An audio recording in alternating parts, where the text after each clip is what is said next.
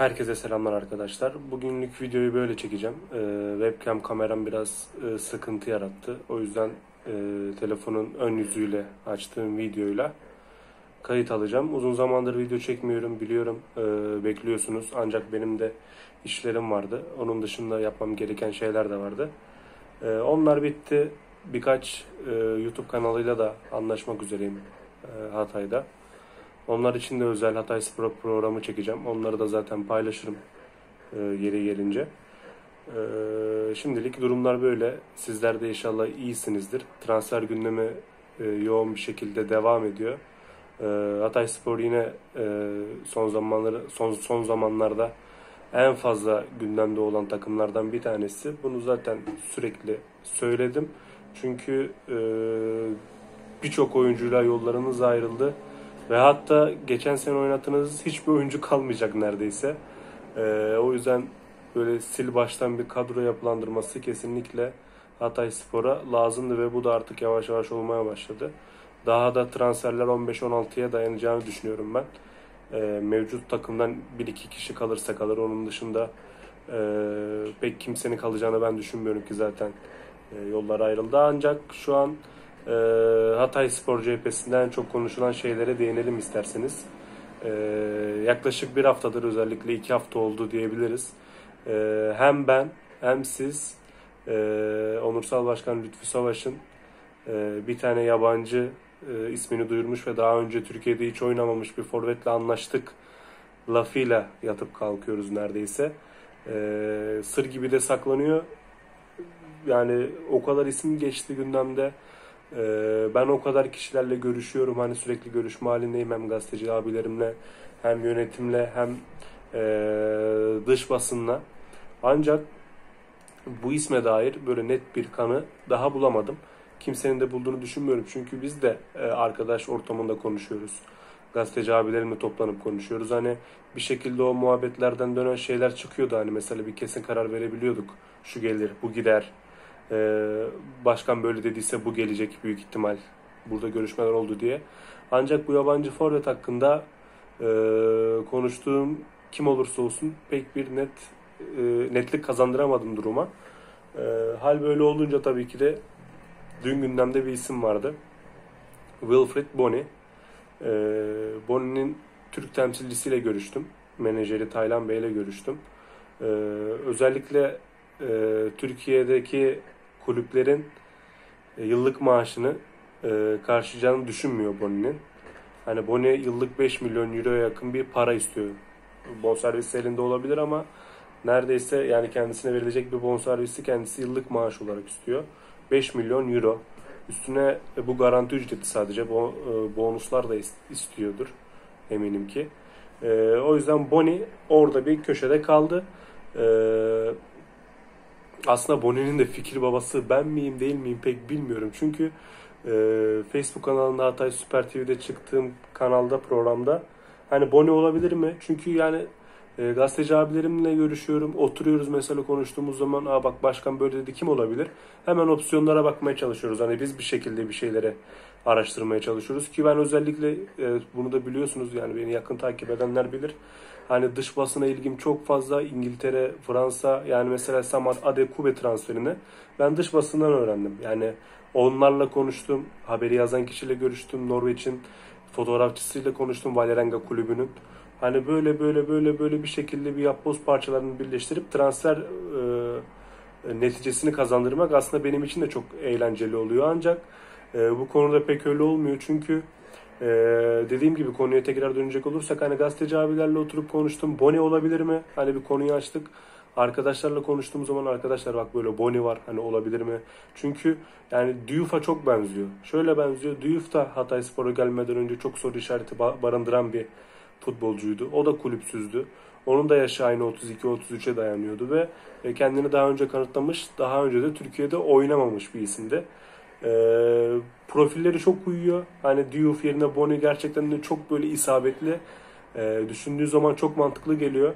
Ancak e, menajeri Taylan Bey ile görüştüm Türk, Türk temsilcisiyle. E, böyle bir transferin olmadığını, Hatay Spor'un herhangi bir girişimde bulunmadığını söyledi. Ancak Boni yaklaşık bir hafta önce yaptığı bir röportajda menajerim Japon kulüpleriyle Türk kulüpleriyle görüşüyor. Her yerde oynamaya hazırım demiş. Hani bu da beni bir yine bir soru işareti bırakıyor. Ben Taylan Bey'le görüştüm. Tabii ki de yalan söyleyecek hali yok. Hani kendisine herhangi bir teklif gelmemiştir. Belki de oyuncuyla direkt bir görüşme olmuştur veya farklı bir kaynaklar araya girip görüşme olmuştur. Ee, olmayabilir. Büyük ihtimalle olmayacak ama benim yine son zamana kadar hani acaba Boni mi diyebilecek bir mantıklı bir düşüncem var. Onu da zaten sayıyorum. Hani Hatay Spor'a uygun Diouf'un yerine getirilebilecek bir forvet. Kulüpsüz ve sadece yıllık maaşını indirirsen e, hani o riski alabileceğin bir e, transfer olabilir. O yüzden orada bir soru işareti her zaman benim kafamda kalacak. Diğer bir isim kim olabilir? Ee, yaklaşık 3-4 hafta önce Fotospor'un yaptığı bir tane haber vardı. Bu Penza'ya e, resmi teklif gelmişti Celtic'ten, Krasnodar'dan. Ee, yanlış hatırlamıyorsam Krasnodar haberi değil, Celtic haberi. Celtic çok e, net bir teklifte bulunmuştu Hatay Spor'a. Fotospor'un da yaptığı haber e, bu benzerine Ahmet Musa diye. Çünkü Ahmet Musa gerçekten aynı Boni gibi Türkiye'de ismi çok anılan bir futbolcu. O da daha önce gelip burada oynamadı ancak sürekli e, menajerleri tarafından Türk takımlarına önerilebilen bir futbolcu. Hani orada bir girişim olabilir mi? E, sanmıyorum çünkü oyuncunun bir kulübü var. Benim bildiğim kadarıyla e, bu oyuncu kulüpsüz. Hani Hatay Spor'la anlaştık, her şey bize bağlı dediği oyuncu kulüpsüz diyebiliyorum. Ahmet Musa'nın şu an bir e, güncel e, şey olabilir. Hemen ona da bir bakalım isterseniz. Şu an bilgisayardan bir bakayım. Ahmet Musa'nın herhangi bir takımda bonservisi var mı? Çünkü Ahmet Musa bizim gündemimize gelmişti. En azından haberlerde yer almıştı.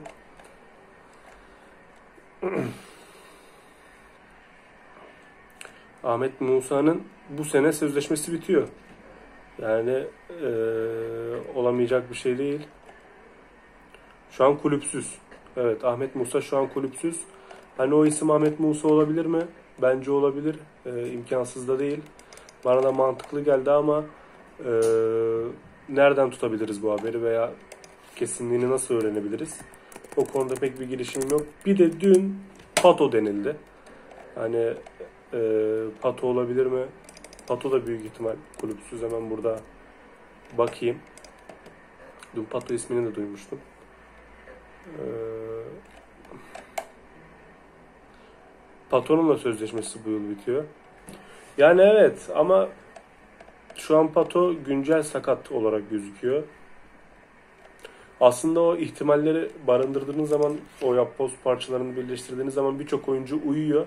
Ancak emin olun e, bu transfer haberine e, görüştüğüm ve konuştuğum kimse kalmadı. Kimse bilmiyor. Yani bilen vardır. Ancak bu bu sefer çok sır gibi saklanıyor. Ee, o konuda bak mesela normalde de çıkıp şey diyebiliyordum hani ilgi yok veya şu oyuncu var ama bunu istemiyoruz diyebiliyordum ama e, bu transfer hakkında bunu söyleyemiyorum. E, biraz sır gibi saklanıyor ancak ilerleyen günlerde aslında bu da biraz Diouf'un e, kaderine bağlı bir durum. Çünkü e, bekletiyoruz demesinin sebebi Lütfü Savaş'ın Diouf şu an bizim hala bir yıllık kontratı olan bir oyuncumuz. E, maç oynadığı için sözleşmede belirli bir maç üzeri oynadığı için sözleşmesi otomatik olarak uzadı. E, ve uzadığı için de ilk yapılan anlaşmalarda eğer sözleşmesi uzarsa 1.2 milyon euro bonservis bedeliyle serbest kalır gibi bir madde de var. Yani bu ne demek oluyor? Diouf bizim bir sezon daha oyuncumuz ancak herhangi bir kulüp Diouf'u isterse ve direkt bizim elimize 1.2 milyon euroyu verirse biz hiçbir şekilde bu transferde daha fazla bir rakam isteyemeyeceğiz. Çünkü oyuncu direkt serbest durumuna düşüyor. Ancak Beşiktaş'ın ben bilgisi olduğunu biliyorum ve 900 bin euro gibi bir teklif yaptığını da duydum, biliyorum. Ee, zaten onlar da Sergen Yalçın'la anlaştılar. Ee, o durumda Sergen Yalçın zaten istiyordu oyuncuyu. Ee, orada bir netice kazanabilir önümüzdeki hafta. Ya dediğim gibi işte biraz Duyuf'a bağlı. Ee, eğer Beşiktaş'la anlaşılmazsa başka bir kulüp gelip Duyuf'u istemezse bizim yine e, gelecek sezondaki ilk 11 forvetimiz Duyuf olacak ve kendisine kaptanlık verecek. Ryan abi gitti. Ee, ki zaten düşünce o yöndeydi Ömer Erdoğan'ın yaptığı açıklamalarda da bunu söyledi zaten sürekli. Hani benim bir gol kralım var bu Penza ama ben Diouf'a daha çok önem veriyorum. Çünkü saha içerisinde e, o liderliği özellikle antrenmanlarda sürekli genç oyuncularla konuşması, onlara tecrübe katması gerçekten çok önemli ve bu senede Hatayspor'un birçok e, genç oyuncusu var. Diouf orada etkin bir rol oynayabilir. Ömer Hoca da bunu istiyor ancak e, Diouf gelen teklifleri değerlendirmek istiyor. Artık kariyerinin son yıllarında yani daha büyük bir kulübe o gidip orada belki de şampiyonluk yaşıyor istiyor olabilir. Yani bu çok normal ve olağan bir şey. Sonuçta oyuncu profesyonel. Ee, orada daha büyük netice kazanır. Diouf giderse zaten o anlaştık dediğimiz forvetle de büyük ihtimal e, resmi bir sözleşme imzalanır diye düşünüyorum. Şimdi e, diğer bir madde Kamil Ahmet Çörekçi. E, şu an zaten ben bu videoyu çektiğim anda resmi bir sözleşme imzalandı ve e, Hatay Spor'da açıkladı oyuncuyu. Lütfü Savaş'la Zoom görüntüsü yaptılar. Kamil Ahmet ilk başta Trabzon'a geçecek. Orada birkaç eşyaları var. E, onları alacak ve daha sonrasında bizim e, Temmuz başında başlayacak Erzurum kampına gelecek.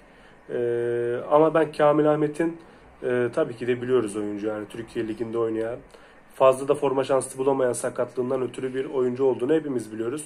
Ben Kamil Ahmet'in biraz daha rotasyon için transfer edildiğini düşünüyorum. Ha oyuncu sakatlanmaz ve oynar. Gerçekten de ilk 11 oyuncusu ve Hatay Spor'a çok katkı sağlar. Kalitesi çok iyi bir oyuncu.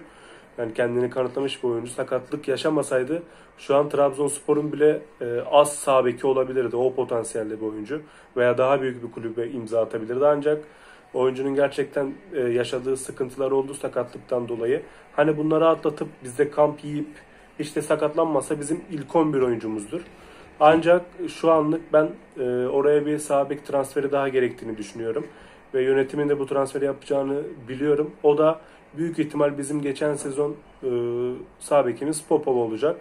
E, Popov'la bir sene daha kiralık sözleşmesi veya artık e, satın mı alınır pek bilmiyorum. Şimdi bakayım bir Popov'a, Popov'a da bakayım burada. Yani Popov'la ilgili bizim yönetimin e, düşüncesi şey durumda hani şu an oyuncu Kasımpaşa'ya geri dönmüş gözüküyor. Kasımpaşa ile sözleşmesi bir yıl daha var. Bir yıl daha var sanırım. Hani bizim yönetim orada e, oyuncuyla bir sene daha anlaşmaya sıcak bakıyor. Çünkü geçen sezon bence de fena değildi. Hani orada bir anlaşma olabilir tekrardan. Popov, Kamil Ahmet ve Burak Çamoğlu orayı bence bizim için idare edebilir. Hani Popov olmazsa ben bir transferin daha geleceğini düşünüyorum oraya. Ee, durumlar böyle. Abit takımdan ayrıldı kaptanımız. Yani keşke böyle olmasaydı. Ben e, ilk videomdan son videoma kadar şu an bu da dahil olmak üzere her zaman Abit'ten yana taraftım. Çünkü oyuncu sezonun ortasında menajerleri tarafından menajeri tarafından hani Hatay Spor yönetimine sözleşme uzatmak istediğini iletti. Ancak bizim yönetim abi şu an takım bir e, hedef içerisinde sen de iyi gidiyorsun. İstersen bunları sezon sonu konuşalım gibi bir cevap aldı. E tabii ki de durum böyle oldu. Takım oynadı, Abit oynadı. Lig bitti, sezon bitti ve e, haliyle hiç sakatlanmayan, iyi bir performans sergileyen e, oyuncuyu isteyen çok kulüp olacaktır. E, öyle de oldu. Hem Türk e, kulüpleri hem de yabancı kulüpler Abit'le yakın bir şekilde ilgilendi. Abit'in yine e, tarafı Hatay Spor'dan yanaydı ki daha önce de bir takıma imza atabilirdi. Ancak bu kadar gecikmesinin sebebi hem Hatay Spor'u beklemesi hem de yabancı takımlarla görüşmesi. E, Fransa'da 2-3 takım kendisiyle görüştü menajeriyle. E, anlaşma sağlanamadı. En son Hatay Spor bir e, yenileme teklifi götürdü. Aslında pek de yenilenme demez çünkü e, maddeler biraz geçen sezondan daha azdı. Hani maaşı bile geçen sezondan daha azdı. E, durumda böyle olunca Abit Malatya Spor'a imza attı. İnşallah kendisi için hayırlısı olur diyelim. E, Abit yerine kim gelecek? Şimdi aslında asıl soru bu. Samuel Payet de çok konuşuldu. E, Samuel Payet ile ilgilenmişiz. Yani ben bunu öğrendim. E, fiyat sorulmuş veya bir şekilde oyuncu görüşmüş oyuncuyla, kulübüyle. Ancak Samuel Piet de takımda kalmak istiyor kendi takımında. Daha farklı hedefleri var. Daha farklı gelecekleri var ki zaten Piet de pek 8 oynayabilir mi? Orada da bir soru işareti var tabii ki de kafada. Ee, Ryan Abit yerine oraya kim gelecek? Lütfü Savaş orada da bir oyuncuyla anlaştık denil, dedi. Ee, o da ilerleyen günlerde daha netlik kazanır. Ee, aslında toparlamak gerekirse durum bundan ibaret. Ee, takım Temmuz'da kampa gidecek Temmuz'un ilk haftası. Top başı yapacak. Ee, video atacağım dedim. Birkaç soru geldi. Ona da bir bakalım isterseniz. Kamil Ahmet. Heh, Abdullah Yiğiter'e de değinelim. Ya dün biraz Twitter'da Arkadaşlar şimdi ben buna değinmek istiyorum biraz. Abilerim, kardeşlerim. Ben başına özel yazmadığım haberlerde herhangi bir haberi üstlenmiyorum. Veya bunu ben çıkardım gibi bir gayem de yok. Yani bunu ilk başta bir söyleyeyim. Eğer ben o haberin başına özel yazmadıysam bilin ki o haber benim değildir. Ve ben sadece sonradan duymuş oluyorum. Abdullah Yiğiter transferi de böyle bir şekilde. İlk başta başka bir hesap paylaşmış iki gün önce. Ben görmedim bile. Yani birçok kişi de paylaşmış. Bana dün konuştuğum kaynağım Abdullah'la anlaştı 500 bin TL bonservis bedeli ödenecek dedi. Ben de bunu yazdım. Benim de Twitter'da konuştuğum büyük bir futbol sayfası var. Onlar da beni kaynak göstererek bu haberi paylaşmış. Hani ben tutup da kimseye haberimi atıp işte bu benim haberim paylaşın demiyorum. Hani o iki gün önce paylaşan taraf sanki beni suçlar gibi bir görüşü konuşma oldu. Bu benim gerçekten çok canımı sıktı. Hani bazı şeyleri tabii ki de benden önce öğrenebilecek kişiler olabilir. Kaynakları daha farklı olabilecek veya daha geniş olabilecek kişiler kesinlikle vardır. Ee, ben buna kesinlikle karşı çıkmıyorum. Ben daha bu işe bu sene başlamış birisiyim. Ve ben kendimi övmek için de değil gayet de iyi gidiyorum. Ancak ben kimsenin haberini üstlenecek bir kişi de değilim. Ben zaten kendi haberimse, kendim bir şekilde e, detaylandırmışsam mesela Samade Kube, mesela Sabalov Jenitze yani mesela Boni'nin e, menajeriyle görüştüm o. Mesela Botegin. Botegin'in de ben e, başka takımlardan ilgilendiğini ancak Hatayspor'un görüşünü kendi özel olarak belirttim. Hani bunların dışında Hatayspor haberlerini ben yani kendim e, almadıysam veya bir şekilde bana sadece bir bilgi geldiyse ben bunu özel olarak zaten paylaşmıyorum. Yani onu da söyleyeyim ben kimsenin haberine e, çöreklenecek veya hani başkasının haberi sanki benim haberimmiş gibi lanse edecek birisi değilim. Onu da söyleyelim. Sadece benim görüştüğüm Twitter'da önemli futbol sayfaları var. Onlar da sağ olsunlar benim haberimi alıp e, kaynak gösterip paylaşıyorlar. Yani yani ben tutup da özel Abdullah Yiğiter geldi işte benim haberimde demiyorum. Mesela Mesut abi Bolu'ya gitti. Onu da daha önce birisi paylaşmış. Ben de tutup ona şey demiyorum. Hani özel haberim falan. Ben yani o konuda e, kimsenin benimle ilgili bir soru işareti olmasın. Yani o konuda kimsenin hakkını yiyecek birisi de değilim. Ancak özel haberlerimi alan Hatay Spor sayfalarında da buradan selamlarımı ileteyim. Yani arkadaşlar tabii ki de buna yani çok kişi alıyordur. Hepsini teker teker incelemek gibi bir niyetim yok. Sadece bana geliyor sağ olsunlar atıyorlar abi bak senin haberini almışlar diye. Yani abi özel yazmışım. Yani özel sanki sen özel haber yapıp görüşmüşsün gibi bir e, durum oluyor. Bu da yani can sıkıntısı. Yani alta bir e, ismimi yazmak bu kadar zor olmamalı. Yani özel olmadığı haberleri mesela özel yazmadığım haberleri alın kullanın. Sıkıntı değil. Ama benim özel yani menajerlerle 3 saat konuşuyorum, görüşüyorum. Ee, özel yazıyorum. E sen git tut, kopyala yapıştır, özel yap. Peki olacak şeyler değil onlar. Ee, Botegin transferini de deneyelim isterseniz. Botegin'le yaklaşık zaten 3-4 haftadır biz e, yakından ilgileniyoruz. Oyuncunun aslında ilk düşüncesi e, kendi ülkesine dönmekti. Ancak orada pek istediğini bulamadı ve Hatay Spor'da ısrarlı olunca biraz düşüncesi de değişti diyebiliriz. Hani Hatay Spor burada biraz %50'den fazla bir ritim yakalamış durumda onu da söyleyelim. Botekin transferi daha netlik kazanabilir. Ancak oyuncuya ülkesinin takımından da çok e, önemli teklifler var onu da söyleyelim. Özellikle Sao Paulo yakından ilgileniyor oyuncuyla. E, Umut Nayır transferi e, menajeri Ergün Yücel Bey ile görüştüm. Hani çıkıp bazıları bana mesaj atıyor işte Ergün Bey yalan söylüyor falan. Yani arkadaşlar hiçbir menajer böyle kolay kolay bir yalan söylemez. Bana Hatay Spor'da hangi yönetimle görüştüğünü, hangi isimle görüştüğünü bile söyledi. Hani ben de teyit ettirdim zaten. O konuda kimsenin bir sıkıntı olmasın. Bir görüşme olmuş. Sadece bir görüşme olmuş Umut Nayır'le. Ee, Umut Hatayspor'a sıcak bakmış. Ee, Ergün Bey de oyuncusunu Hatayspor'a göndermek istemiş ancak orta noktada pek buluşamamışlar. Umut Nayır yine bildiği kadar inmiş maaşta. Ancak Hatayspor'da o indiği maaşı da fazla görmüş. Ve orada herkes e, hadi sonrasında konuşuruz, görüşürüz gibi hani belirsiz bir görüşmeden ayrılmışlar.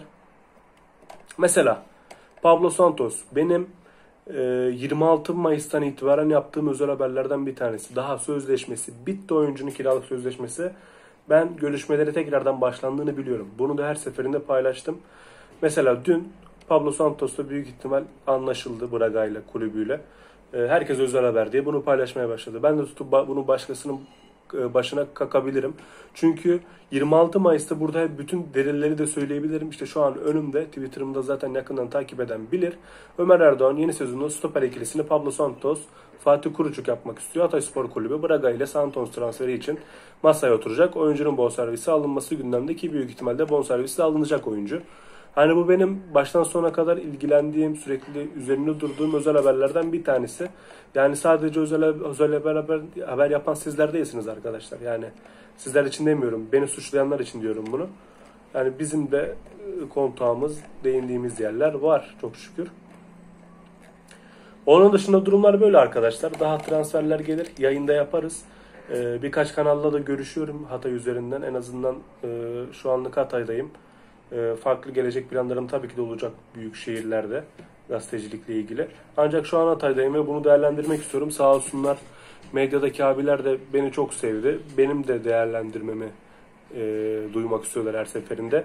Hatay Süper TV ile bir Facebook canlı yayınlarına çıkabilirim sürekli ve bir tane YouTube kanalında Hatay Medya TV'de e, bana özel bir spor programı yapılabilir. Bunlar zaten daha net, daha prodüksiyonlu ve ofis ortamında yapılacağı için hem konuklar olabilir hem oyuncu konuklarımız olabilir hem yönetimden konuklarımız olabilir. Yani öyle bir orta yolu bulup gerçekten sizi bilgilendirmek isterim. Bunların da devamı gelir zaten. Ee, şimdilik aktarabileceklerim bu kadar. Son olarak 2-3 soru vardı ona da bakayım. Yani es geçmiş olmayalım en azından. Ahmet Çörekçi geldi zaten. Fatih Kuruç'un maaşını bilmiyorum. Ha, Kamil Ahmet'in maaşını söyleyeyim size. İlk yılında 4.2 milyon TL kazanacak. İkinci yılında 4.5 milyon TL. Üçüncü yılında ise 5.5 milyon TL e, garanti ücret alacak Kamil Ahmet. Bunu da Hasan Yılmaz abiden öğrendim. Trabzon spor cephesine gerçekten iyi işler yapabilen ve sevdiğim bir gazeteci abim. Sağ olsun beni bu konuda bilgilendirdi. Şu dünya yıldızı format tahmini onu zaten konuştuk. Ee, özellikle ünlü forvet Diouf. Hepsine değindik arkadaşlar. Ee, umarım keyif almışsınızdır. Biraz da uzun sürdü. İnşallah başınızda şişirmemişimdir. Ee, uzun zamandır video atmadığım için konular birikti. Yine kısa süreli aralıklarla videolar gelmeye devam edecek. Şimdilik kendinize hoşça, hoşça kalın. İyi bakın kendinize.